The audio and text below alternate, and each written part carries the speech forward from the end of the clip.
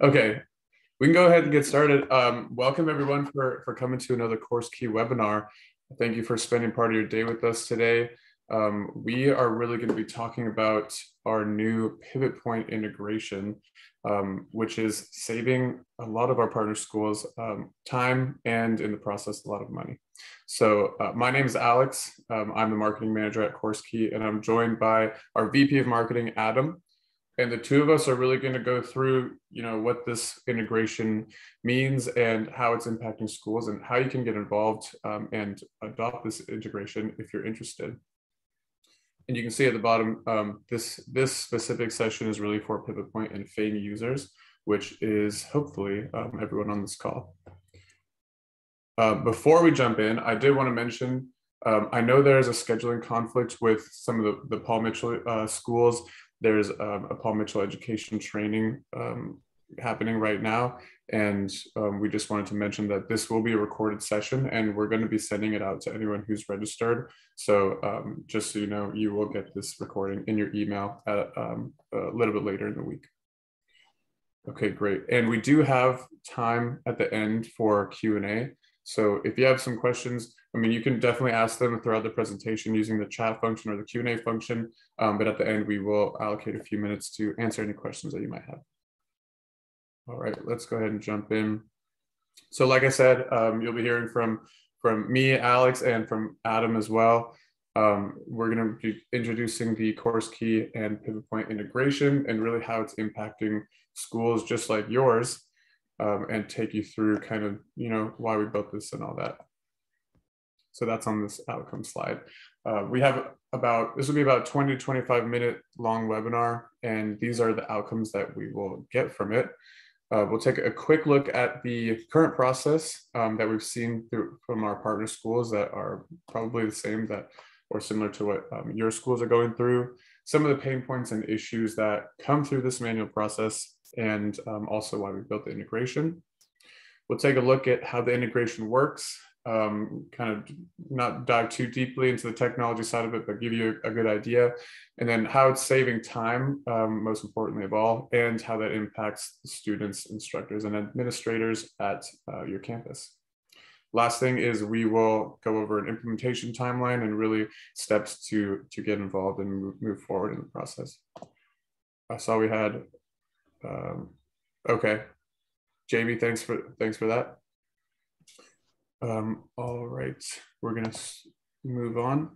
So the current process that we um, know exists today and, and part of the reason why we built this integration um, is, is a manual process and that pertains from to getting students grades uh, and other, other information from Pivot Point Lab into your SIS. So we know that uh, whether it's administrators or admins, or sorry, um, instructors, that a lot of this transfer, most of this transfer is a manual process and it can have a lot of time variance on how long it takes, but also there's a few issues that stem from that. So we'll take a look at that right now. All right, here's where we get into, into the pain points. So we know that the manual data transfer and having to update individual student records by hand um, takes instructors and admins a lot of time per week. We've heard um, in some cases, you know, three hours per week, all the way to 10 plus hours per week. Um, it really sometimes comes down to how much, how many students you have enrolled and how many students profiles you need to update. Um, though we know this takes a lot of time from um, instructors and administrators, and it's really time that they could be using to do more high high level high value tasks and time that could be allocated to students. Um, plus, who wants to be entering data in for hours per week? I, I wouldn't. Um, so that's the first bullet. Second one, it's a manual process. So that of course means that it takes takes some time to complete. And that always leads to delayed access to the up-to-date data. And it can create a bottleneck for a lot of processes. Um, for example, delaying the R2T4 calculations and because this is a manual process um, and there's human uh, human intervention involved, it inevitably will come with some kind of mistakes and inaccuracies. I mean, that comes with the territory when you're doing any manual data entry. And with um, with that comes more time to get get rid of those mistakes and correct those mistakes. Looking back, having to communicate with um, the stakeholders that um, that data pertains to, and can be a messy process sometimes. All right, we've heard about um, fines um, due to data mismanagement and just not having the process uh, or everyone follow the process at your school. That can really lead to some issues in compliance. Um, and then two really big um, issues that stem from this manual data process. The first one is um, administrators and instructors and students themselves. They don't have real-time visibility into the students' grades, attendance, um, and skills completion. This is a real issue because how are we supposed to know if a student is at risk or if they're falling behind if we can't see that in the data? Um, and we know that for this bottom bullet, it, that can really negatively impact the retention.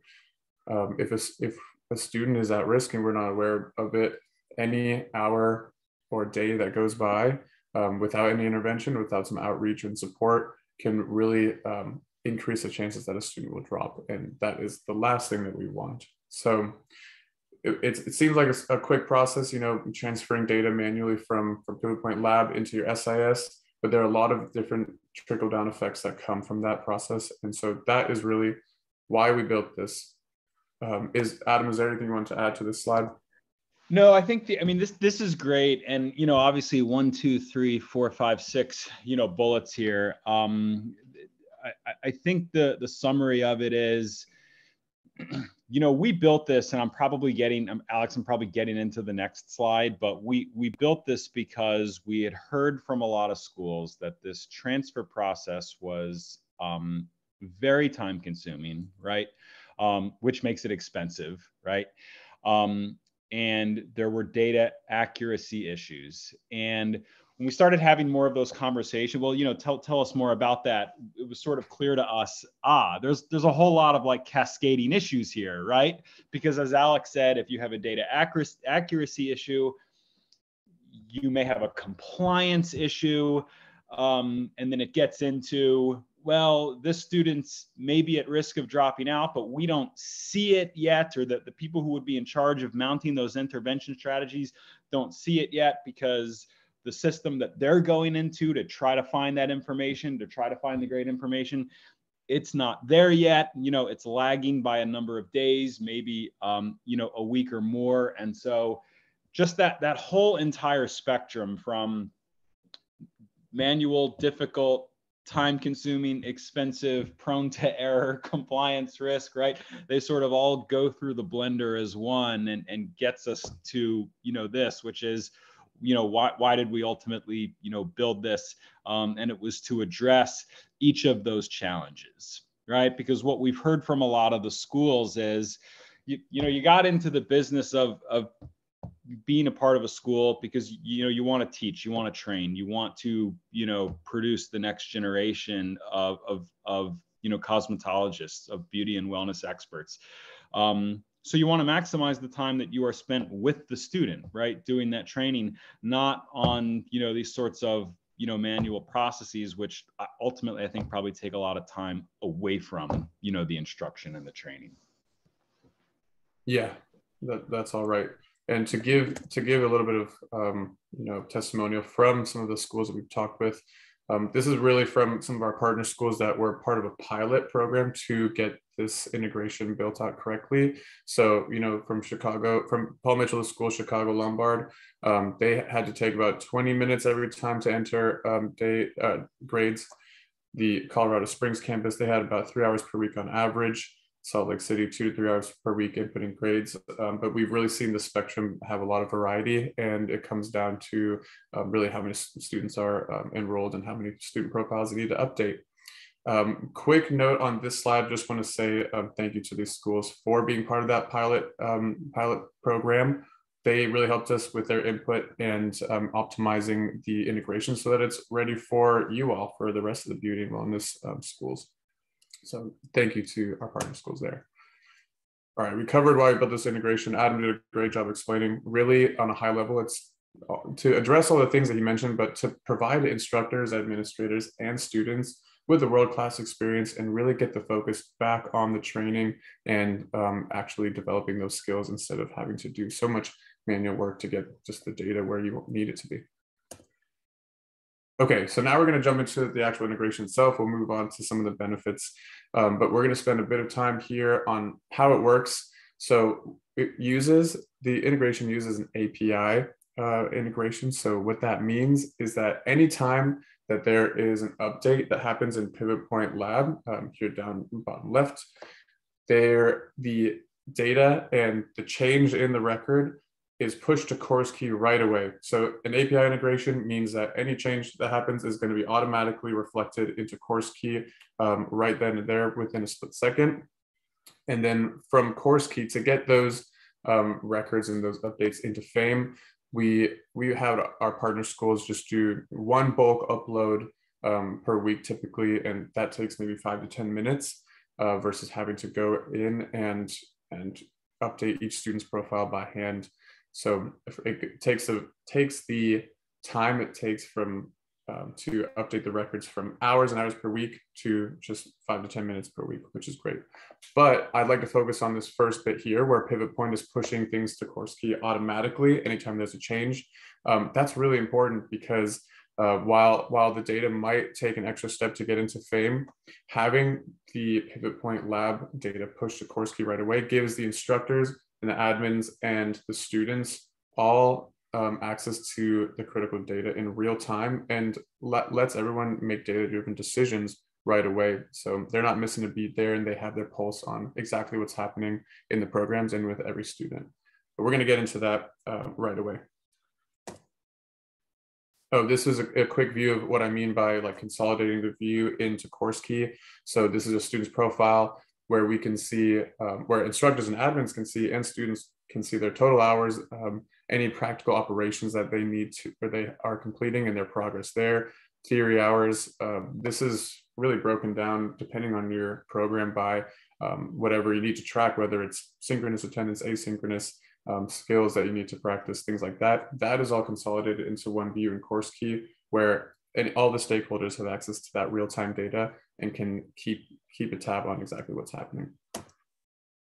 This is another view there, just the bottom. You see some of the grades that came through. All right. Okay, now this is the reason why we're all here. How does this benefit your institution? Um, number one, as you've seen on the title of this presentation, time is money, and it saves uh, these our schools a ton of time per week. And really how it does that is with that automatic transfer, that's that API integration. It turns what used to be hours per week into just minutes to update students' records. Um, the second bullet here, skipping the manual process, gives staff the ability to take that time that they would normally spend updating everyone's profile and give it back um, to the students or allocate it to different um, uh, processes that are um, very much more important. Um, we'll let the machines do handle the data um, updating and let humans go back to you know teaching and helping skills helping students develop their skills. And then of course any intervention and support that's needed to at-risk students who are indicating that they might be slipping a little bit. We can use that time to get them back on track.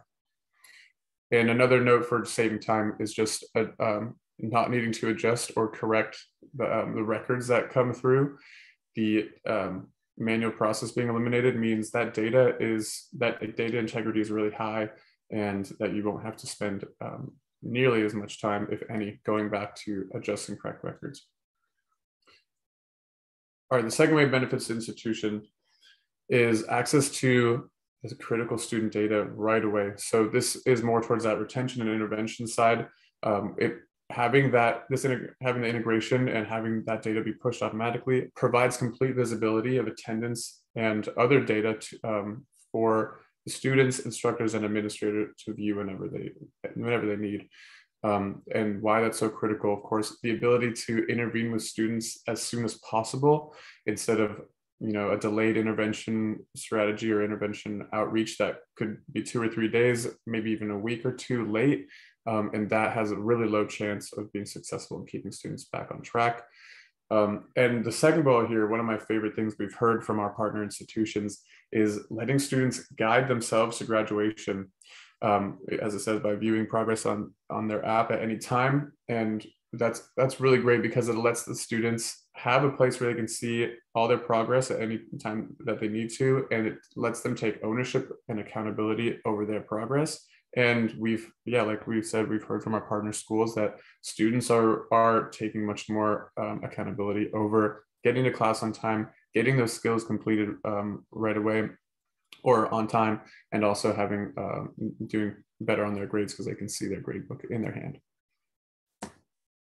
Oh, and here's a view of the of one of the student views where you know they're practice they're tracking their practical operations. You can see the haircuts, blow dries, and different skills that they've been practicing and their progress towards each of those. All right, one of the last um, benefits for this uh, pivot point integration is just simple data storage and management. Um, this process establishes um, a very compliant and scalable process. You know, the it's it's reliable, so the the, the data is accurate and uh, is documented, so that can be shared easily uh, across departments. And then, um, yeah, like it says, in response to auditor auditor requests, that data will be really easily um, found in CourseKey that comes from Points Lab. All right, so how you can get involved here. We have had different waves that we're calling them for the um, for the we had the pilot uh, program and we've done wave one and now we're on to wave two and we are starting reservations for this wave today. So um, if you'd like to get involved, today is a um, great chance to get involved with our phase two release. And we're gonna tell you how you can do that right now. So how you can reserve your spot. Now, I just want to preface by saying we, I know in this webinar, we didn't really get into the, the nitty gritty details and a, a, demonstration of this integration. Um, that is something that will yield a lot more value to you and your school specifically. And I encourage you to, um, you know, fill out the, the post webinar survey and we can get in touch with you to set up that meeting to really take you through these specifics and how it would apply to your school. Um, really have taking that demo is, is going to be the best way to learn about um, how this will impact you. But to reserve your spot for the second wave, we have a post webinar survey that'll pop up once the webinar is done. And um, you can just say, indicate yes on that first question there. And we'll see that and we'll get um, get in touch with you um, based on your answer there. And then for yeah, those people, and to be um, clear, if I can just add one thing, so keep keep an eye out for that that post webinar survey. As far as like expressing interest, it's it's no obligation or anything like that. It's just you know, do you want to see a, a more formal one to one demo and get a pricing quote for your particular you know institution? Um, we'll we'll see that, um, and and that that would be you know that would be the next step. That's right. And for those of you that are watching later on the recorded version, um, you, since you won't have access to the survey, you can um, definitely reach out to either me or Adam here at these email addresses, and um, we'll get in touch with you. But that's really the overview of, of the integration and why we built it, how it's affecting the partner schools that are um, using this already. And I would like to um, take this time to open it up to our audience. If, if you have any questions that Adam and I can answer right now, this is a great time to ask them. And if they are if they're very technically specific um, we will will mark them down and, and get back to you. Um, but if if not adam and i will try our best to answer. Yeah or or if you think of them later which is what i'm world famous for as soon as i jump off a webinar yeah i wish i had asked that. Just shoot one of us an email. It's totally fine. We'll we'll track down an answer for you if we don't know the answer ourselves. Yeah that's right Okay, well, we haven't had any questions come in. Um, we'll give it another few seconds. Karen says thank you. Thank you, Karen, for being here. Oh, we had one Q&A. Um, here we go. Is your software compatible with the SMART system? And I see Nancy also asked um, if it will work with SMART. Adam, do you have insight on if we are working with SMART? I know it's been on our radar. Not not not yet. So this particular integration is specific to Fame. Um, there are others that we are planning, um, you know, additional uh, additional SISs, but this this one specifically is for Fame. Um, uh, we're not in we're not in Smart yet. Yeah, that's a great question though. Um, with the pivot point integration, we we should be able to connect it to other um, SISs that CourseKey integrates with. Um, Smart is not one of them yet. Uh, Nancy says, "How can I get info on Fame?" Also a great question. Um, Adam, do you have an idea for how she can get info on Fame? Um, it's a good it's a good question. I it, it depends. I mean, um,